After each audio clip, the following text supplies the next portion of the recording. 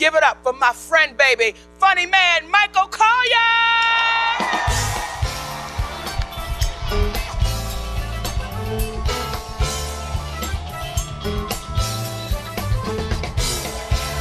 Thank you. All right, thank y'all. I only got five minutes. Don't go messing that up with a lot of laughs and applause. Sit on down. Look, I'm gonna get right to the point. I come today to talk about my mama. Okay, and of course I can't say nothing about my mama until I say something about your mama. So let's just start. Let's just start with your mama. Um, your mama is the greatest family member you will ever experience. Oh, daddy's all right, your brother and sister's cool, but your mama is the ticket. Your mama believed in you before you believed in you. And your mama will stand with you through thick and thin. I mean, till the end. You can kill somebody. I- I'm not talking about on accident. I'm talking about on purpose, okay? Cut them up in little pieces. Make a lampshade out the backbone, okay? Your mama will be the one sitting in court with your crazy behind. She holding the Bible. That's my baby. You don't know my baby. My baby, like, mm, not my baby. You don't know nothing about my baby. My mother was my first hero, and she came to the shows when y'all wouldn't come. Okay, it wouldn't be six people in the audience, but my mama would be there. She sit there and laugh for a while. She get up, she move over there, she sit down, she laugh. She get up, she move over there, she sit down, she laugh. She get up, move there. Made it feel like a crowd. Okay. Um, my mom transcended May 1st. I don't even call it dead, because as long as you hold somebody in your heart, they're still alive and well and right there. Okay. She has only transcended her light to me, and I hope to shine it upon you. And let me tell you something my mom was 79 years young. She had beat breast cancer, she was fighting liver cancer, she was doing dialysis three days a week. I don't know if you know about dialysis, but when you have dialysis, you tend to lose your appetite. So I would fly in every three weeks to Chicago for the last three years and cook for my mama. Now, anybody here like soul food? Y'all like collard green? Does anybody here put turkey seasoning in the collard green?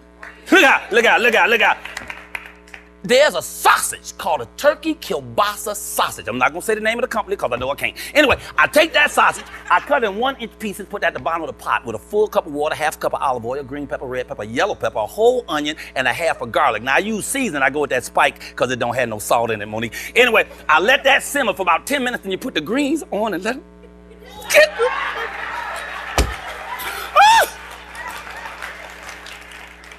Food will change your life. Has anybody here ever had a Krispy Kreme donut? No, wait, I'm not talking about the cold ones. I'm talking about when that sign say fresh hot. And you got to run down there to watch them.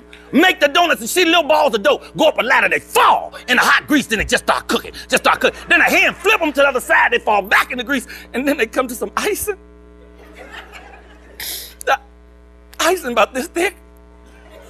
And when the donut go through that ice, and you put it in your mouth, they literally melt in your mouth. I swear, first time I had a Krispy Kreme, I swear I almost came. Food will change your life. If you still have your mama alive today, it is an amazing blessing. Call your mama every day and say, I love you. Your mama will never get tired of hearing you say, I love you, man. You know, I am so honored to be here this evening. I love this woman so much, and she's one of my heroes from when I first started doing comedy, and now here I am on the stage with y'all at BET. This has been an honor and a pleasure. God bless y'all real good. Thanks. I come see you. Come on over here,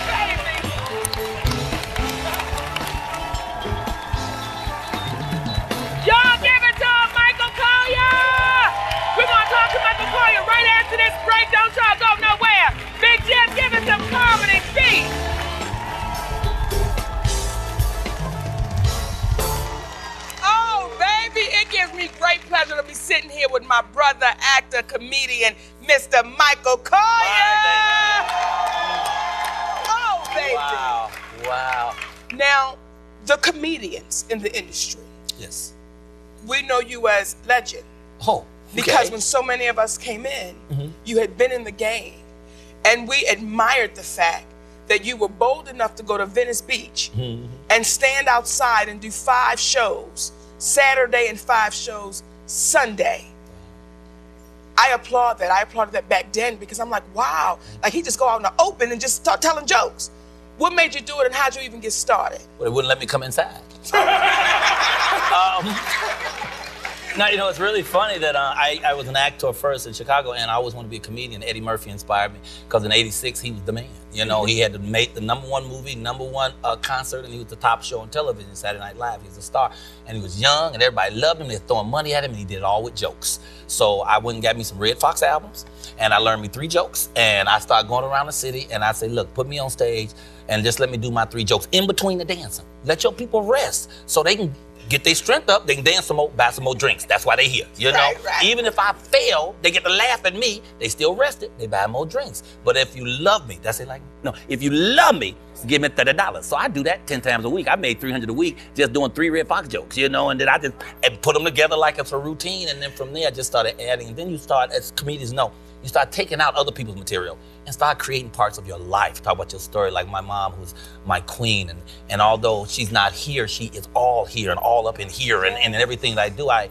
I um, I'm kinder to people, and my performances are stronger because of my mother and of her of her presence, always here and always with me. You know what I'm saying? So I am very excited about what's going on with my life these days. Now, and and see, what I want people to understand, so you're very excited what's going on with your life nowadays. Right. Just tell them a little bit about the history so they'll understand about your excitement right now so the appreciation can set in. Well, it, you know, it's really the story of the transformational power of God, you know, because he took me from being a crackhead, telling jokes on Venice Beach, to being one of the top comedian motivational speakers on this planet. On, and he allowed me to, yeah, he allowed me to expand that, you know. No, really, if, if God is not the answer, then you're asking the wrong question. And if God is the leader of your game, if he's running the ship, you can't fail. You know what I'm saying? So I have God and a wife who don't just love me, she likes me too. So so I have all the traits that I need to be successful. It's only me to fail. I'm the only one standing in my way. And most people, they're the only ones standing in their way. If they can get out their own way, so what's theirs by divine right can come to them, they'll get it all. They'll have it all. You know what I'm saying? You know, sometimes we don't realize why things happen when they're happening. And sometimes things are said that need to be said right when they need to be said. Mm-hmm. And you just said something. And if you could, look at that sister sitting right next to you and say it to her one more time. You got to get out the way. Oh, you'll get your own way. You know, a lot of people don't understand that that's the thing stopping them from getting what they want. Their fear, their lack of faith. Because if we're God dances, there is no fear. So then you just do your thing. And the people who are really for you will gravitate to you. And the people who aren't will disappear Come as on. long as God stays in the game. You know? Come on. So yeah, my God, God So we ain't worried about it, no, baby. no, now, God's the king. And it's already solved. Now, see, You know? you know why I asked Michael to do that? Because Michael did that for me years ago. Do you remember at the Improv in California when I was new to Hollywood, baby, and nobody would give me an opportunity to go up on stage, and it was you and your wife, and I'm over in the corner like they won't give me a chance, and you came over there and you said some beautiful oh, yay. words to me, Michael. So I know the power of words. Well, I'm glad I did because now I'm need to come to you for a job. So that's gonna work out. That's gonna work out real good in a minute. That's gonna be fine. Now, Star Search, Okay. Star Search, and then you won Star Search Mm-hmm. and donated half To the homeless. Yeah, I'm trying to get some of that back. You know, I know. No, Trina, the been shopping, girl. They got bags and carts. No, I need the money back. No, I'm just, I'm just joking. Someone, I said that on stage, and someone actually wrote in on my on my blog. Well, if you can't get the money away and you gonna complain about it, don't do it. It's a joke, lady. Yes. It's a joke. And when we gave it, and it's how come people have this legend about my life that's not true. I've never been homeless, but I was doing Venice Beach, and I would always help people in the street. I'd come to work and I'd bring ten meals every morning because they only cost 99 cents. Now you ain't getting no meat, but you got you got two eggs, you got toast, you got jelly, you got hash brown potatoes, and if you're sleeping on a park bench, that's a meal. So I get 10 of them and I'd hand out 10 every place I go because I know if you ever want to have anything, you got to learn how to give all to all. The more you give away, yeah, if you you try to help everybody, you won't have no place to put all your stuff. Ooh, that's, that's baby. for sure. So I started doing that. And then when I won the 100,000, Ed McMahon sort of shocked me. Before I won it, he asked me, and I wasn't thinking at the time. He just said, What you gonna do with the money? And I realized my life is a blessing. You know, I can stand in the street and talk stuff. That's the, the gift God gave me. Anyone on this planet, I can stand still and talk. And people stand around me, they hand me some money. Okay, so I can stand out on Venice and do that. And I'm looking at homeless people and crackheads like myself and other addicts, and I have an opportunity to help someone. That's what I wanna do. I wanna get so much money that I can give it to everybody. You know what I'm saying? So when I gave that back to the homeless, people started telling this wonderful story. Michael Colyar was homeless. He won a hundred thousand, and he gave money to the homeless. I ain't gonna never be homeless. Let me tell you something. As long as God is in my life, unless somebody hit me in the head and I lose my senses, I'll never be homeless. I could be totally broke today and butt naked. I guarantee you, in three days, I'm gonna have a new house with more gators. Come on, and come on. What? And may I, may I say this?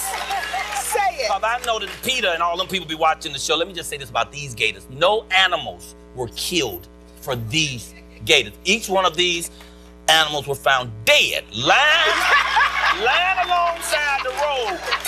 No, it was more of a gathering than a killing. It was a gathering, you know. Um, I'm not fooling with you.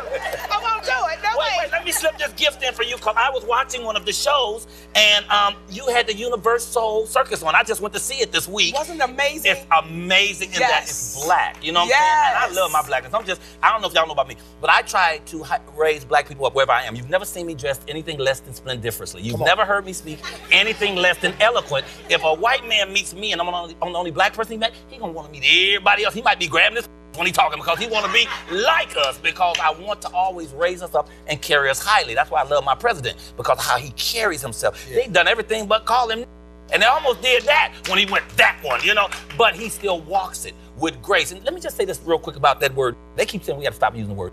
My take on that is we can't stop using the word till we get rid of them. That's another story. Let's get back. So, I was, so anyway, look at y'all. My, you are sick. So, I did a, um, I did a, oh, excuse me. I did a benefit show uh, Sunday with uh, George Wallace for the West End Medical uh, Society, and to raise money for them. And and they and when I watched the circus and I watched it today, when I left there, I took this from them. I stole this actually. Uh, yeah, they had three on the tables and they was looking the other way. So when I got it, I actually was going to take it to one of my fabulous granddaughters. I have two great granddaughters, and then I was like, I want to give you a gift. And then I watched the show again this morning, and it was the circus. And I said, wait a minute, there's a circus. So let me bring you the Jack in the Box from the circus. And it actually works. Turn, turn that little hand Thank you, Turn the little baby. thing. Uh, No, and he jumps out. But actually, I stuffed him in wrong. But if you play him, he makes the whole song pop, go the weasel, and he hops the hell out. And uh, The princess and the frog. and the frog, baby. What a wonderful, amazing ride I'm having with this, you know. And it started out as a line, just one sentence, but Disney. You know, I've never done animation, so it's my first animation. It's the first black animated Disney feature film ever. So every black person, every black person should see it. And for two reasons. Number one, you should see it because it's not just uh, historical; it's hysterical. But secondly, you should see it to support ourselves. I know it's a white company that, that made it, but it's a black film.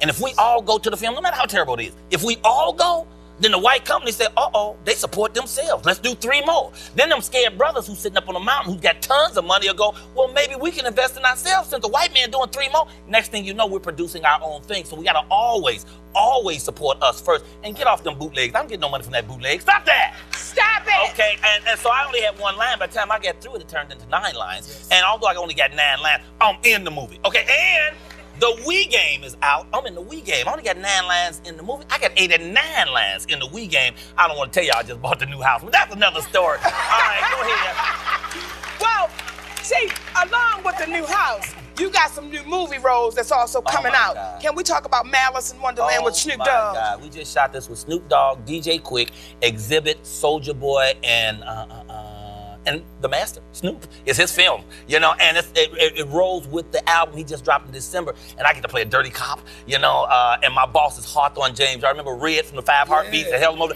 He my me, and I'm a dirty cop, and I'm, I get to shoot at Snoop. I kicked him in the head with my Prada boots, and then um, and I get to fight Soulja Boy, little bitty Soulja Boy. I kept making him bust up laughing. You know, every time the camera wasn't on me, I said, oh, you know, I'm gonna choke you till you do the funky chicken, right? And I, he be trying to hide his laughter, right? They said, no, we gotta shoot that over. Now quit playing. He's like, it's his fault. No, sir, that wasn't me. It wasn't me. It was so much fun. So it comes out on uh, the 22nd of March, and you'll be able to get it when you buy the album and it's the DVD. But it is really excellent because it's dramatic, and all the artists perform in between the dramatic performances. So it's some real cool stuff. But what I'm really proud of is my documentary. Uh, it's about my president. I started shooting it uh, at the inauguration. I'll be through with it in two more months with the editing. It's called A Funny Thing Happened on the Way to the White House. I knocked on the door and a brother answered. So when that when that drops, when that drops, it's gonna kill them dead. Y'all give it to